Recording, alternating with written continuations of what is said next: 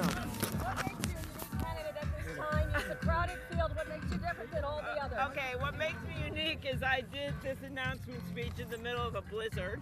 Um, and I think we need people with grit. I have that grit.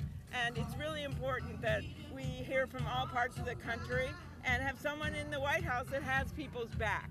And I am going to start here right on the Mississippi River, reach out to the rest of the heartland, and then to the rest of the country. And what about Senator, those this who week say there that they're progressives in the party? Those on the on the coast and the urban areas who say that that's the party, the direction the party is going. How do you win them over? Well, I think what we all want to see is progress. We want a president that looks people in the eye and tells them the truth and tells them where we need to go. And I don't think that has to be from one part of the country. It's what I've done my whole life. Are you tough Senator, enough to take on Donald Trump? I am tough enough to take on Donald Trump because I would have liked to see him sitting out here in the snow for an hour giving this speech. So, yes, I am. Senator, some of the headlines this week talked about you are a pretty tough boss. What's your reaction when you see some of those headlines? Is that You know, I you? love our staff. Look at this incredible event they put together. And yes, I can be tough. And yes, I can push people. I know that.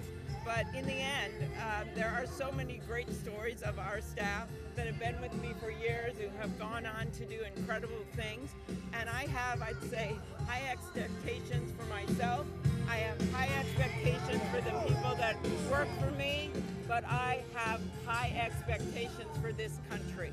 And that's what we need. We need someone who is focused on getting things done for the country, that is willing to cross the river of our divides, that's willing to walk the sturdy bridge to higher ground. And that's what this campaign is going to be. about. Is that a gendered criticism, though, when you hear that?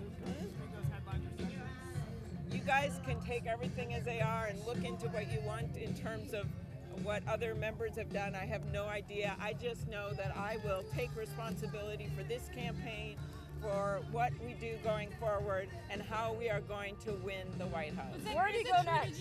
We go. We are planning on next weekend. Well, I'm going to be going and doing some interviews tomorrow, and then we're planning uh, this weekend to go. Next weekend, we're going to be in Iowa and in Wisconsin. I think we're starting in Wisconsin because, as you remember, there wasn't a lot of campaigning in Wisconsin in 2016. With me, that changes. That's where my mom was from. That's where she grew up.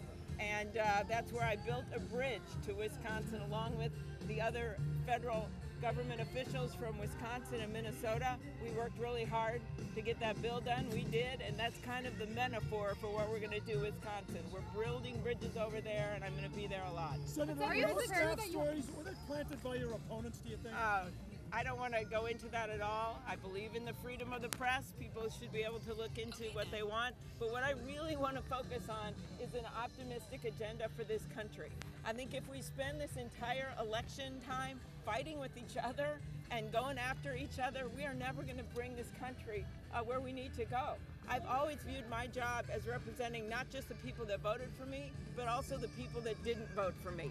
And that's what I think we have to get in our head instead of this petty, vicious politics. It has to end, and we have to go forward as a nation.